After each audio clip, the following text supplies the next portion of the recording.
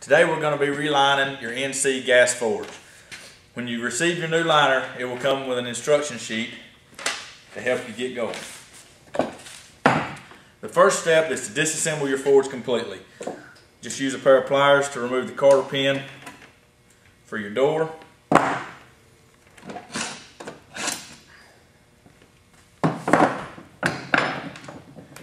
Use a half inch wrench to remove your bolts for your burners.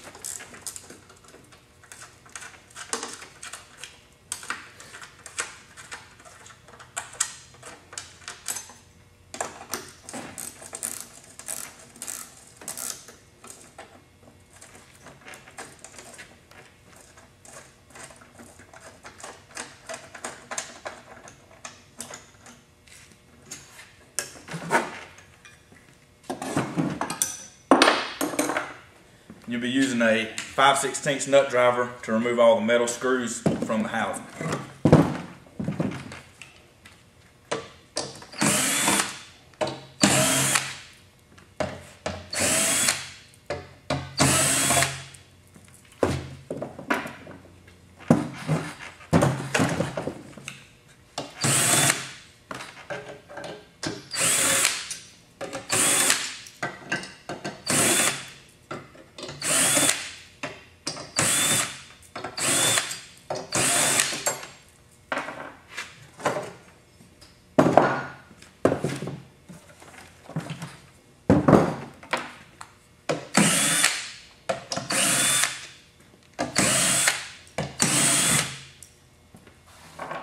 Momma open end models, it's important to keep the ends on the same side that you took them off because they'll have to go back on the same side.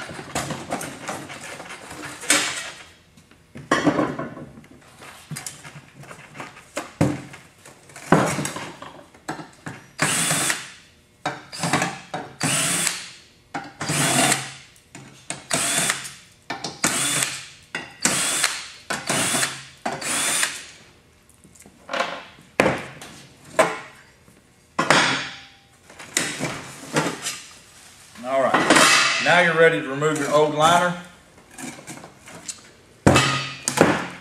Just take a water bottle and spray it down, soak it down real good to minimize any dust. And it's recommended to use a good pair of gloves and a good dust mask while you're removing your old liner.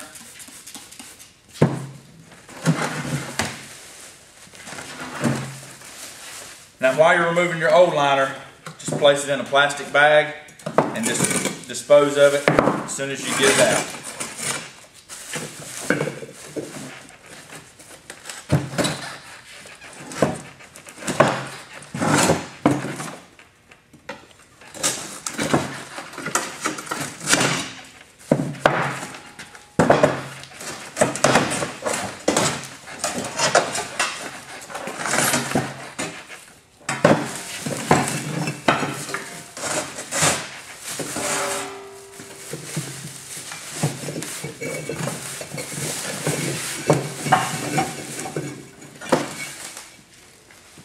All right, now that you have it out, you can take a vacuum cleaner, clean up any uh,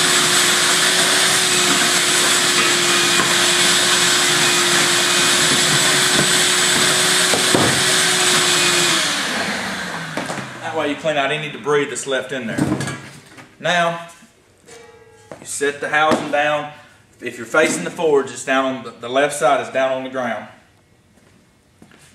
Now you're ready to reinsert your new liner. This is how it should look when it comes out of the box. You have a new pack of screws and a new door installation. Now, this is how it's packaged in the box. This is how it is to be placed into the forge. You've got your hearth brick and your bottom brick with the gray layer facing this direction. And then here's your hearth brick. It goes in like this. Now, you insert this, these three pieces all as one unit. Pick it up. You line your corners up where it goes in, where it'll slide in. Now, if yours fits too, tuck, too tight, you feel like it's, it's too tight and it won't push down, you can take a rasp and rasp off this corner right here until it slides in easy.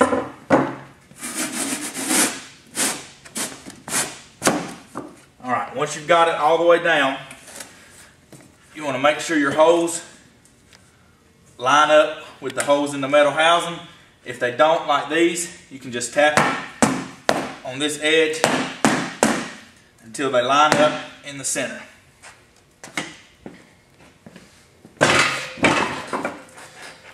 Now you're ready to replace your ends. Now remember, on the open end, on the open end mommas, like I said, the ends have to go back on the same side. These are the only model that we have that the ends have to stay on the same side.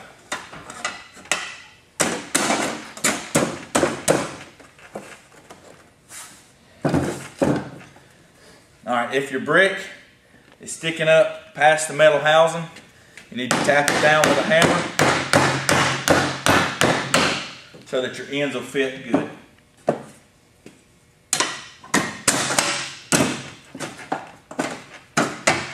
All right. I like to start with the back first, putting your metal screws back in. Just take a hammer, line up your pins where the holes will fit.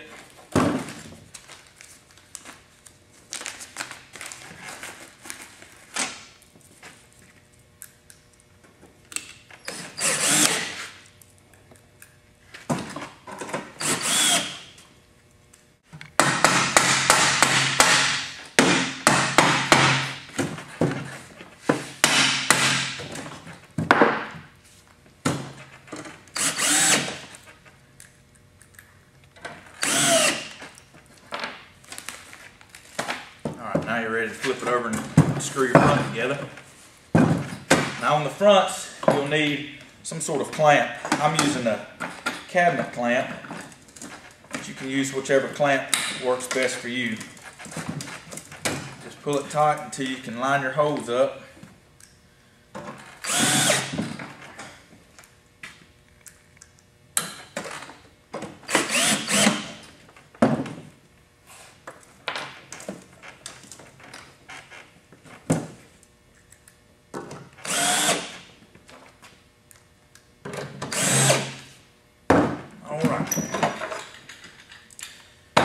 Now we're ready to cut out our side ports. All right. Before you cut the side port out, take a magic marker and mark around the edges. You want to leave an eighth of an inch gap of, or excuse me, an eighth of an inch of the liner between the metal and your hole to create a good seal.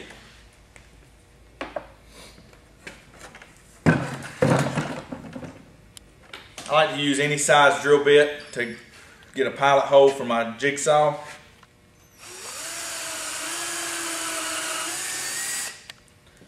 I'm using a jigsaw, but you can use a keyhole saw, sheetrock saw, whatever you have to cut this with.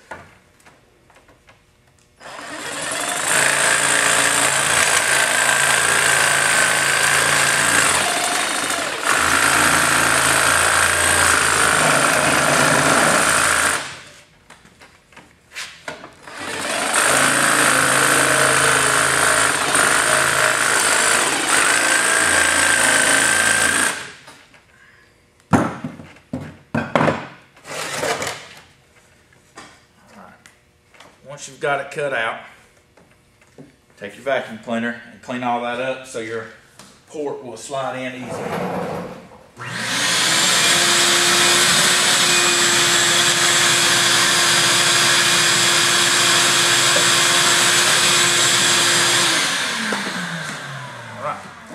Now just drop your port in. You may have to take a hammer here and, and lightly tap it in all the way around.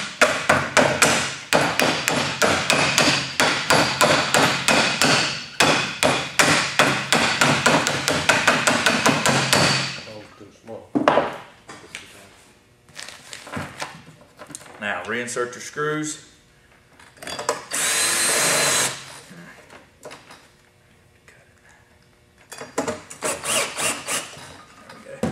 get one started and then tap the front down.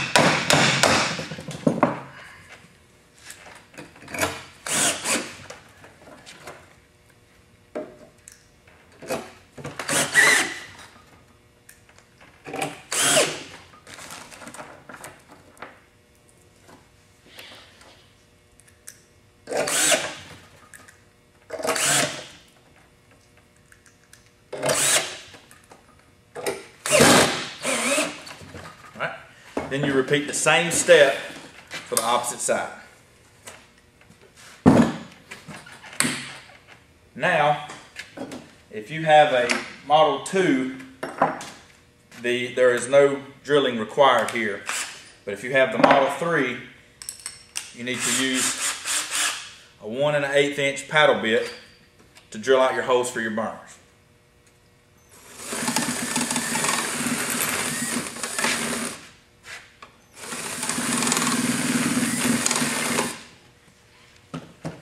Now it's also a good idea here to vacuum this off and vacuum under here to make sure there is no uh, none of your liner hanging down blocking the hole.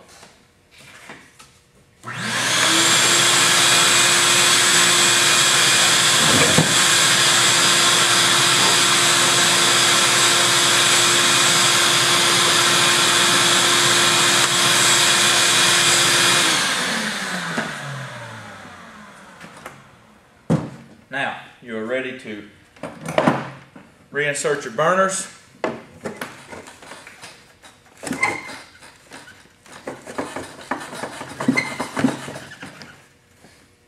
Bolt them back down.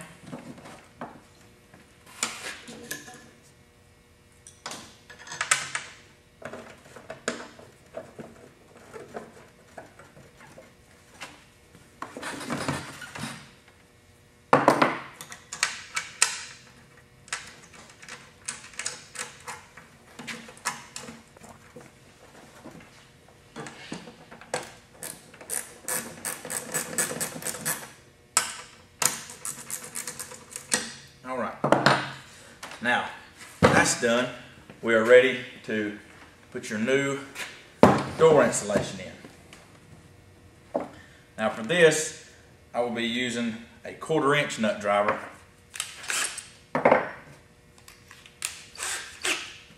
Just remove your old screws.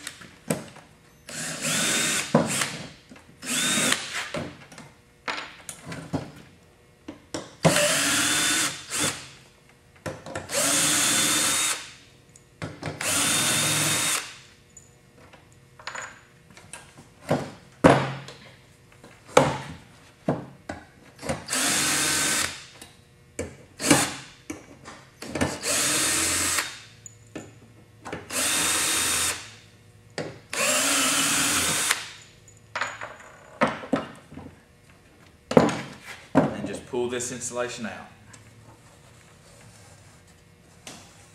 Just like that. Now you have your new piece. You just slightly bend it to where you can work the edges down in the door.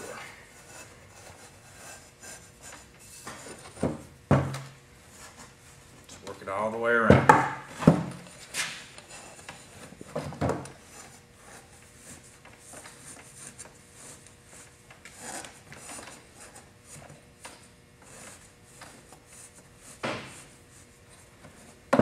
All right. Once you've got it put back in like that, you're ready to put in your new screws. Now, when you start your screws, go just below your screw and squeeze in because you want to create a gasket right here all the way around the bottom and the front. It'll create a gasket so it'll seal off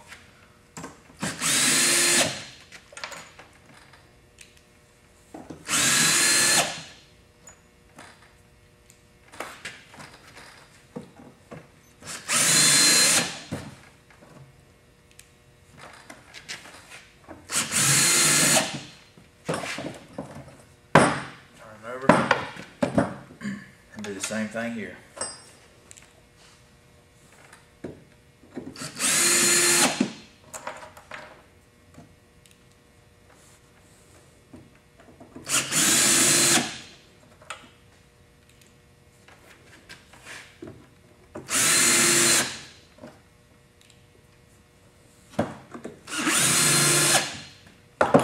All right.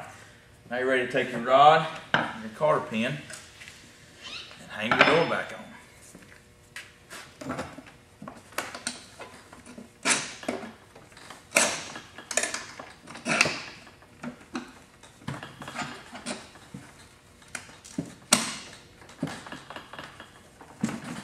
There we go.